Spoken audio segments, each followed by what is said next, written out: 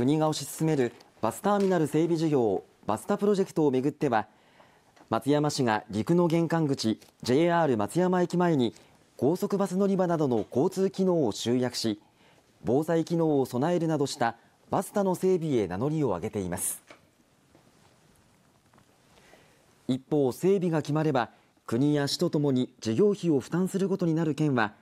中村知事がバスタの採算性などに懸念を示しています。こうした中野市市長や市の幹部らが今日午後県庁を訪れ中村知事と面会しました。関係者によりますと野市市長はバスタ整備を前に進めるため中村知事に面会を求めたということです。15分ほどの面会を終え野市市長がテレビ愛媛の取材に応じました。今日はどのようなお話をされたはい、あのバスタのことについてお話をさせていただきました。バスタ全般ですよね。バスタのことについてお話をさせていただいた。まあ、進め方のことについてお話をさせていただいたというところですね。知事の反応はいかがでしたか？はい、あのしっかりとお話を聞いていただけたというふうに思っております。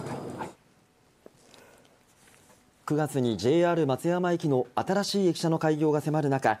今後バスタ整備がどのように進むのか県と市の連携が注目されます。